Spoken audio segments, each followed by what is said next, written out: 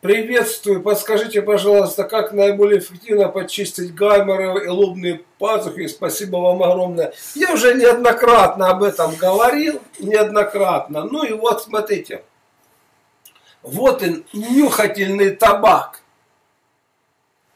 Вы берете так, эту самую э, зубочистку.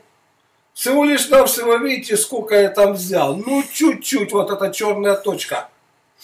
А, в одну ноздрю вдохнули, а, в другую ноздрю вдохнули. И так поступаете примерно через равные промежутки времени, раз, э, пять, если у вас сильно забиты гайморовые пазухи, раз, пять в течение дня.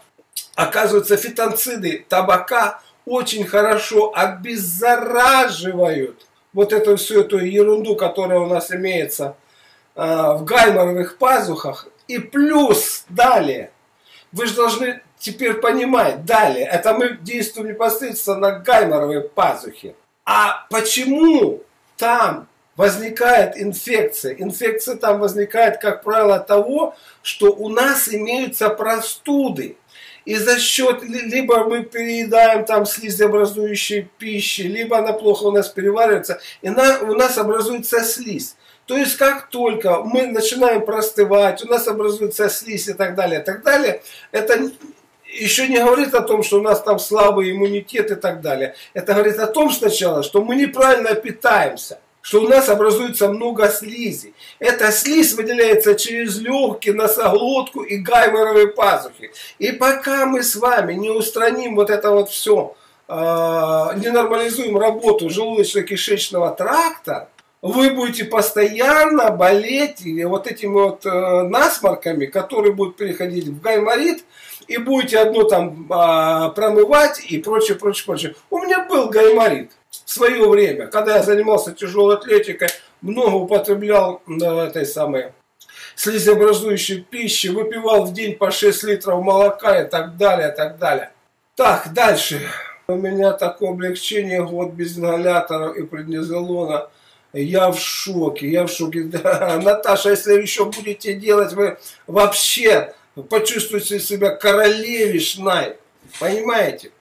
Все в наших руках. Просто э, не хватает нужных знаний, не хватает, э, будем говорить, упорства в работе, не, не, не хватает осознанности, как это делать. Я попала к вам два года назад. Ну, сюда на канал. Вот некоторые, знаете, еще что-то. Вот я к, к тебе там приеду или еще что-то, или еще что-то. Вот он канал. Пожалуйста, вы хорошенько сформулируйте свои, э, как бы сказать, проблемы. Мы здесь их обсудим. Если надо больше, значит, вот как с, э, этим самым, с Эдуардом мы поработали через электронную почту, постоянно на связи были, практически ежедневно, фотографии, что, что, как.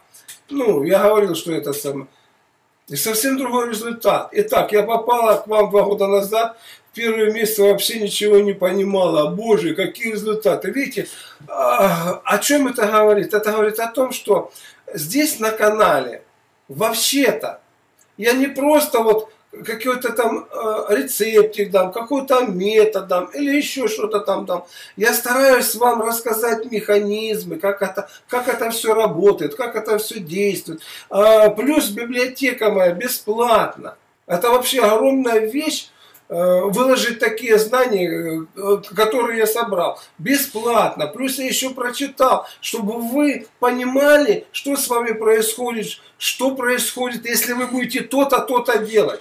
А я примерно и говорил, если ты смелее, Наташа, будешь делать, то ты вообще после чисток там поберешь, особенно печень и так далее. Она там все сомневалась. А теперь вы видите, какие результаты. Это еще половинчатые результаты. Они могут быть намного лучше.